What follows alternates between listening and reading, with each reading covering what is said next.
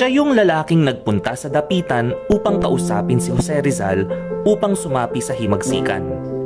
Kilala ba ninyo siya? Siya ang hero ko. Siya ay si Pio Valenzuela. Isinilang si Pio Valenzuela noong ikalabing isa ng Hulyo, taong 1869 sa bayan ng Pulo, ngayon ay lungsod ng Valenzuela. Anak ni na Francisco Valenzuela at Lorenza Alejandrino. Nag-aral siya sa Kolehiyo de San Juan de Letran at kanyang tinapos ang kurso sa medisina sa Universidad ng Santo Tomas at naging isang ganap na manggagamot.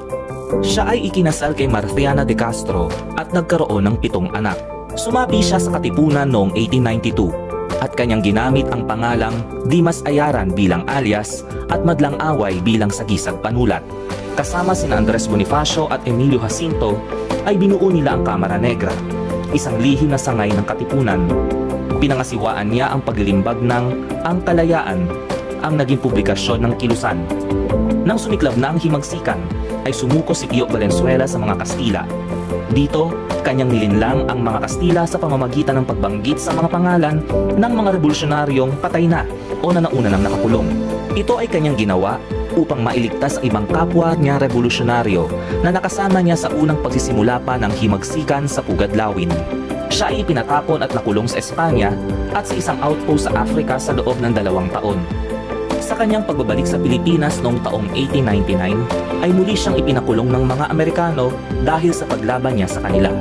Kalaunan ay naging alkalde siya ng bayan ng Pulo mula 1899 hanggang 1901 at gobernador ng Bulacan mula 1919 hanggang 1925. Siya ay namatay noong ika-6 ng Abril taong 1956 sa gulang na 86 you know, he devoted his time, no, um, and his life, no, kasi nga may risk nga sa buhay na um, for the cause of the Katipunan. So, for me, katapangan yun. He was loved by the people. That's why, eventually, no, uh, after his death, no, um, the people of Polo, no, of Bulacan, now Valenzuela City um, honored him by renaming um, the town after him, which is now which is now Valenzuela City.